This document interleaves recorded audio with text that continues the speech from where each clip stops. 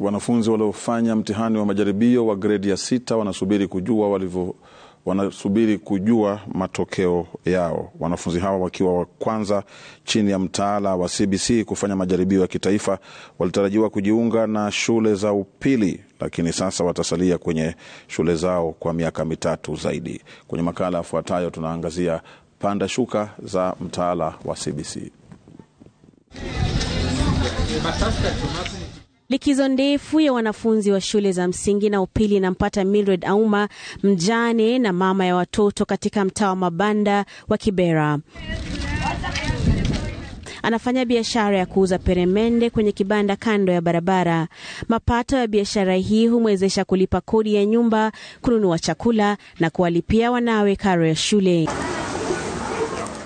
Kifungua mimba wake Brian Opondo aliye na umri wa miaka kumi na miwili amefanya tathmini ya gredi ya sita mwaka huu. Ni miongoni mwa zaidi ya wanafunzi milioni moja nukta tatu waliotathminiwa chini ya mtaala wa CBC.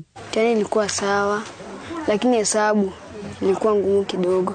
Somo la hisabati lilikuwa changamoto kwake Brian, lakini anaimani kuwa alifanya vyema kwenye masomo mengine yaliyotathminiwa chini ya mtaala huo na masomo yaliyohitaji zaidi maarifa ya kutenda. Mi napenda home science, home science na science. Brian anasema mafunzo hayo yamemsaidia zaidi na siyo shuleni pekee, jambo ambalo mamake anaafiki.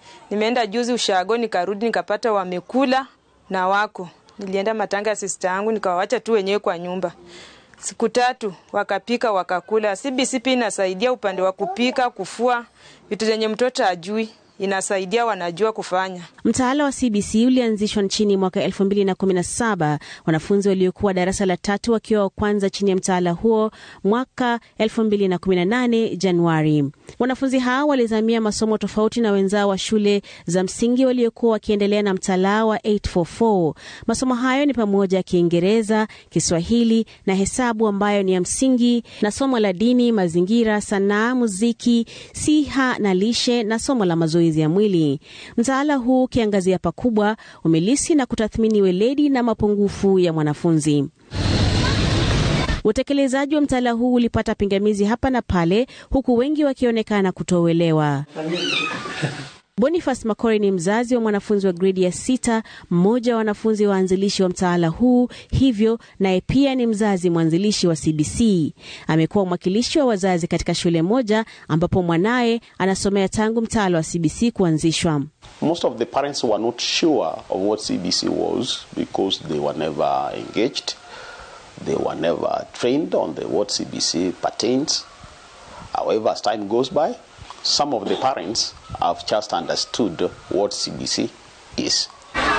Ni mtaala unaohitaji juhudi za pamoja za walimu, mzazi na mwanafunzi, tofauti kabisa na mtaala wa 844 uliowaachia mzigo wa masomo walimu na wanafunzi. Mtaala huu wa 26333 pia unamaanisha kuwa wanafunzi watasoma miaka miwili chekechea, miaka sita shule ya msingi kuanzia gredi ya kwanza hadi sita, miaka mitatu ya ngazi ya chini ya sekondari ambayo ni gredi ya saba hadi tisa, kabla kwenda sekondari kuu kwa miaka mitatu na hatimaye chuo kikuu kwa miaka mitatu. Serikali ilikuwa imetenga shilingi bilioni nane kwa ujenzi wa madarasa elfu kumi katika shule za upili ili kutenga nafasi kwa wanafunzi wa gridi ya saba ambao wangejiunga na sekondari wakati mmoja na wanafunzi wa kidato cha kwanza mwaka wa elfu mbili na ishirini na tatu. Lakini jopo kazi la watu arobaini na wawili lililoteuliwa na Rais William Ruto liliamua wanafunzi wa gridi ya saba wasalie katika shule zao za msingi. Jopo kazi hilo lililoongozwa na Profesa Rafael Munavu lilipendekeza kila shule ijenge darasa moja zaidi na maabara, ikiwa serikali ilitumia shilingi bilioni nane kujenga madarasa elfu kumi. Hii inamaanisha kuwa serikali itatumia takriban shilingi bilioni ishirini na nne zaidi kujenga madarasa elfu thelathini katika shule za msingi kote nchini. Hii ni kando na pesa zinazotumika kujenga maabara na kuweka vifaa vyenye maabara hayo. so that the additional facilities that are required for junior secondary, the government of Kenya will work with their members of parliament so that they can be delivered on time to provide seamless movement of our, of our children across the education Mtaala wa CBC unahimiza sana kuwapa wanafunzi ujuzi wa kutenda na unawahusisha zaidi wanafunzi, walimu na wazazi. Hii inamaanisha kuwa wazazi wanagharamia vifaa vinavyohitajika, jambo ambalo limekuwa changamoto kwenye utekelezaji wa mtaala wa CBC. Mildred anafahamu fika changamoto hizi. Kutoka shule tunapewa practical, tunaambiwa uende ufanye practical na mzazi, kama uoshe, uoshe nguo, mzazi wake akiona apige picha, ama utengeneze basket, mtengeneze basket na mzazi wako. Yaani hii CBC iko na gharama. Mtoto anaweza fika aseme mama wamesema tupeleke ngano na nyama. Tena mwingine akuja kuambia mama ticha amesema upeleke besheni na sabuni. Mwingine akuja aseme ticha amesema tupeleke kuku. Hiyo pia iko kwa gharama kando na school fees.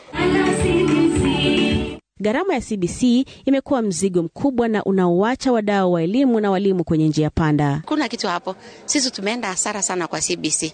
Unanunua kalas, unatumia pesa zako, hakuna kurudishiwa. Geomba serikali ilete pesa ambayo ni elfu ishirini na mbili ndio iweze kugharamia CBC, maana kuna projects, kuna mambo ya materials.